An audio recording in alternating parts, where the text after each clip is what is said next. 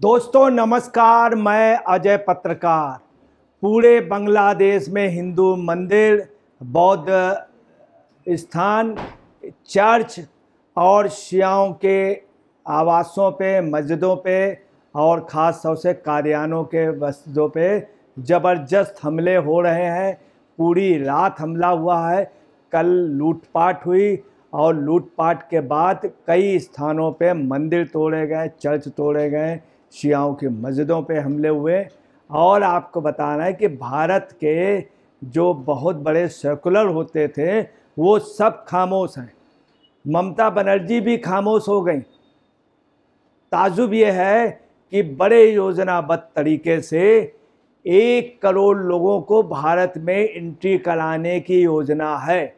वो सबूत अब पता चल रहे हैं। करीब 15-20 रोज पहले स्वयं ममता बनर्जी ने कहा था कि जो भी आएगा, हम उसको बहुत स्वागत से, सम्मान से अपने यहाँ लाएँगे, उनको बढ़िया नाश्ता पानी कराएँगे, चाय पिलाएँगे, खुद इन्होंने बोला था।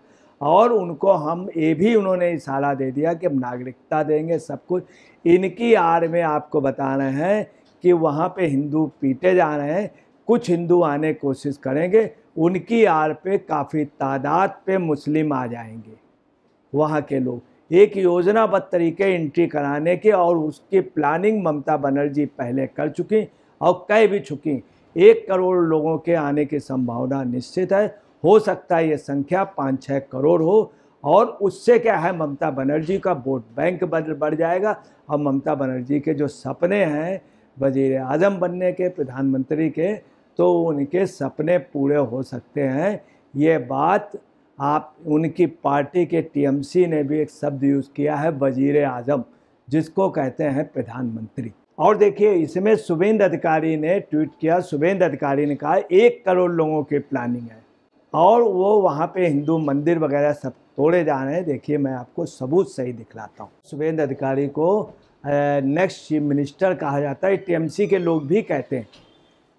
समानता पर ध्यान दें, उन्होंने कहा, समानता पर ध्यान दें। पहला बंग बधु मुजीबुर रहमान के विनाश। आप देखिए, ये देख रहे हैं जिन्होंने बांग्लादेश का निर्माण कराया है, जो नौ महीने जेल पे रहे जिन्होंने यातनाएँ, उनका कत्ल कर दिया गया था। उनके उस पर आप समझ लीजिए, मूर्तियाँ तोड़ी जा रही हैं। मुजीबुर रहमान की। मुजीबुर रहमान के तीन लड़के मार दिए गए थे। एक छोटा बच्चा दस साल का मार दिया गया था। दो लड़कों की पत्नियों को मार दिया गया था, उनके भाई को मार दिया गया था, बहुत बुरी शेख हसीना इसलिए बच गई थी चूँकि भारत में थी। अब देखिए, ये देखिए। ये देखिए, वहाँ का बिल्कुल उन्होंने बताया है कि शेख मुजीबुर रहमान का विनाश, दूसरा बामियान बुद्ध प्रतिमा का विनाश। इसका रिज़ल्ट क्या हुआ था? मैं आपको बता रहा हूँ कि बामियान में बुद्ध प्रतिमा को तालिबानों ने उड़ाया था, उसके बाद तालिबान जो है तहस नहस हो गया था। और इराक का भी हाथ था, वो भी उसने भी कुछ हुआ था। सद्दाम का तहस नहस हुआ था, तालिबान का हुआ था। और ये देखिए, बंग बंधु का जो मुजीबुर रहमान का किया गया है, सो शुभेंद्र अधिकारी कह रहे हैं, ऐसे नाश होगा इन लोगों का जो लोग ऐसा कर रहे हैं। इसके पहले भी आपको बतला दें, उन्होंने ये भी कहा कि एक करोड़, शुभेंद्र अधिकारी कहा, एक करोड़ वहाँ के लोगों को एंट्री कराने का है, चूँकि वहाँ के लोग पीड़ित हैं रात भर अटैक हो रहे हैं हिंदू मंदिरों में। पूरे बांग्लादेश में आग लगी है, इस्कॉन मंदिर जल करके खाक हो गया, तमाम जगह मूर्तियाँ तोड़ी गई शिया मस्जिदों पे शिया इमाम गा, इमाम बारों में हमले हुए। तमाम घर जलाए गए, दुकानें लूटी गई, मंदिरों में तोड़फोड़ की गई और भी बहुत कुछ। बांग्लादेश में मुस्लिम भीड़ ने अल्पसंख्यक हिंदुओं पर कहर बरसाया। अब बांग्लादेश में अल्पसंख्यक मारे जा रहे हैं। उसके लिए यहाँ के सेकुलर लीडर कुछ नहीं कह रहे हैं। यहाँ पे अल्पसंख्यक के उसमें आवाज़ उठाते हैं। वहाँ पे आवाज़ में वो मुँह अपने मुँह सिले हुए हैं। हमलों की चौवन से अधिक घटनाएँ हुई, जबकि बांग्लादेश का राजनीतिक प्रदर्श इतिहास के सबसे कठिन दौर से गुजर रहा है। हिंदू मुस्लिम भीड़ को दया पर निर्भर है। ये हमले बांग्लादेश में चल रही राजनीतिक उथल पुथल के बीच हुए हैं। एक्स हैंडल भाई साहब बांग्लादेशी हिंदुओं के अनुसार ये हमले पाँच घंटे के भीतर हुए। उल्लेखनीय है कि हमलों की वास्तविक संख्या नीचे दी गई सूची में बताई गई संख्या से कहीं ज़्यादा हो सकती है। दस्तावेज़ में चौवन हल्लेवेज के सूचीबद्ध किया है, सरकार ने माना है। चौवन उसमें सूची लगभग कई हज़ार जगह हमले हुए। हर ज़िले में सत्ताईस ज़िलों पे लगातार हमले जारी हैं हिंदू मंदिरों में, चर्चों में, बौद्ध स्थानों पे। ये देखिए, पूरे बांग्लादेश में आग की पोजीशन है। आप देखिए, ट्वीट किया है ट्वेंटी फोर ने। आज सुबह सरकार गिराए जाने के बाद बांग्लादेश में हिंदू समुदायों के खिलाफ हमलों की सूची जारी की गई। क्या किसी ने सूची को अंग्रेज़ी अनुवाद देखा है? इसे बांग्लादेशी हिंदू बौद्ध ईसाई एकता परिषद द्वारा जारी किया गया। खुलना में रूपसा थाना क्षेत्र के हाईगेट गाँव में श्यामल कुमार दास और स्वजन कुमार दास के घरों पर हमला। खुलना शहर के टूटपाड़ा में खुलना जिला एकता परिषद के अध्यक्ष, विमान बिहारी अमित और युवा एकता परिषद के अध्यक्ष अनिवेश सरकार रिंकू के घरों पर हमला। डाकोप के आमतली बनिसता में जयंत गाइन के घर पर और कोयरा के दायाम पार पर अल्पसंख्यक समुदाय के घरों पर हमला किया गया। तोड़ फोड़ की गई और लूटपाट की गई। फेनी में दुर्गा मंदिर पर हमला। फेनी में दुर्गा मंदिर बहुत बुरी तरीके क्षतिग्रस्त किया गया है। दिनाजपुर में फुलथला शमशान भूमि पर जबरन कब्जा कर लिया गया है। दिनाजपुरा के सम फूलतला में शमशान भूमि तमाम वहाँ के शमशान भूमों पे कब्जे हो रहे हैं, मंदिरों पे कब्जे हो रहे हैं। पार्वतीपुर में काली मंदिर समेत पाँच मंदिरों में तोड़फोड़ की गई है। पार्वतीपुर में भी काली मंदिर पूर्णतः तोड़ दिया गया चिरबंदर थाना क्षेत्र के श्वेतांबर बोचकैम और ढाला गाँव में अल्पसंख्यक समुदाय के घरों पर हमला, मंदिरों पर तोड़फोड़, मंदिरों में आग लगा दी गई है। देखिए कितने मंदिर, ये सब नेता खामोश हैं। अब देखिए, बांग्लादेशी अखबार द डेली स्टार ने, खुद स्टार ने, डेली स्टार ने लिखा है, सत्ताईस ज़िलों में हिंदू समुदाय के घरों और व्यवसायों पर हमला किया गया, तमाम मंदिर तोड़े गए। रिपोर्ट के अनुसार लाल मोनी हराट में सदर उपजिला के तेलीपाड़ा गाँव और थाना रोड में प्रदीप चंद्र राय और मुहिम राय के घरों पर हमला, लूटपाट की गई, मंदिर तोड़े गए व इबादत गाय भी जो शिया समुदाय की तोड़ी गई। कालीगंज उपजिला में चंद्रपुर गाँव में चार हिंदू परिवारों के घरों पर हमला किया गया।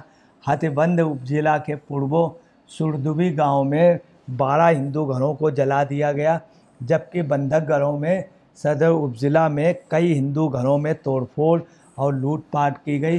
दिनाजपुर में दस हिंदू घरों पर हमला किया गया और रेल बाज़ार हाट में एक मंदिर पर हमला किया गया। ताजुब ये है कि यहाँ पर पहले लगभग बयालीस परसेंटेज हिंदू था और आपको बताना तमाम मंदिर थे। इसको आज़ादी भी हम लोगों ने दिलाई थी। हमारे सेना के जवान मरे थे और इतनी बुरी स्थिति है कि पूछिए नहीं। आप देखिए कि अजीत डोभाल जी का और ख़ास तौर से शेख हसीना वाजिद, इनके बचने की वजह है कि अजीत डोभाल शुरू से इसमें अलर्ट थे।